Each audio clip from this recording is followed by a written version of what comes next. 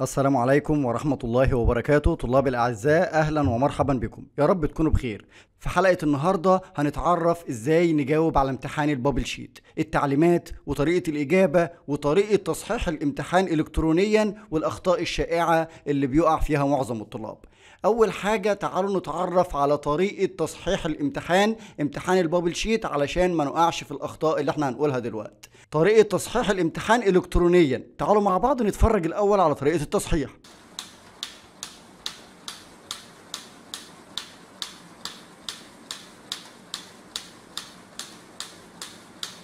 دي طريقة تصحيح الامتحان علشان تكون عارف انت بتعمل إيه والامتحان اللي انت هتجاوب عليه هيتصحح إزاي. تعالوا بقى نقرأ التعليمات كويس جدا اللي بتجيلنا في ورقة الإجابة.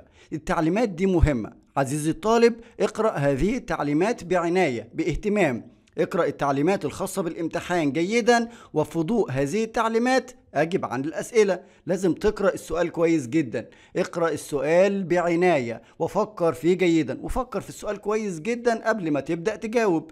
استخدم القلم الجاف الأزرق. القلم الجاف الأزرق فقط في الإجابة. وهنعرف دلوقتي إن أنت ممكن تبدأ تجاوب بالرصاص وبعد كده تزرق في الآخر. هنتعرف على كل ده دلوقتي. واحدة واحدة.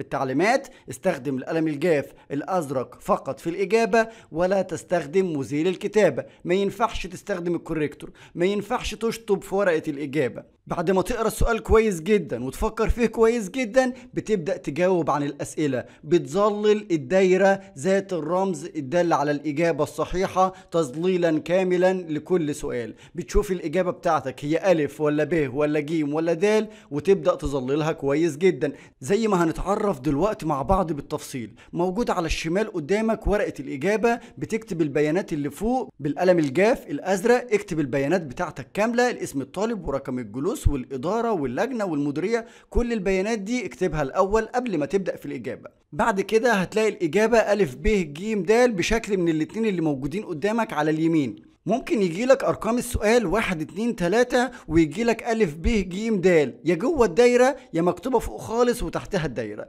ركز كويس جدا في رقم السؤال والإجابة بتاعته عشان ما تجاوبش حاجة غلط. لو عندك الحروف داخل الدايرة اللي هي ألف أو ب أو ج أو د هتقرأ السؤال هتحدد رقم السؤال وتبدأ تظلل بالقلم الأزرق كويس جدا الإجابة الصحيحة. ولو عندك برضو الحروف فوق خالص ألف ب ج د هتقرأ برضو السؤال كويس هتحدد رقم السؤال وبرضه تبدأ تظلل الدايرة اللي تحت الحرف. الدائرة اللي تحت الرمز ألف أو ب أو ج أو د اللي بتدل على الإجابة الصحيحة تظليلا كاملا لكل سؤال. وممكن في الامتحان تجاوب بالقلم الرصاص وفي آخر الوقت خالص تبدأ تظلل الإجابة علشان لو عايز تعدل حاجة ممكن في مكان الإجابة الصحيحة أشد خط صغير كده مكان الإجابة أو أظللها بالقلم الرصاص بحيث إن أنا لو عايز أعدلها أقدر أمسحها وأعمل الإجابة الصحيحة. وخلي بالك قبل الوقت ما يخلص في آخر الامتحان تظلل كويس جدا بالقلم الجاف. لازم تظلل الدايرة كاملة بالقلم الجاف الأزرق.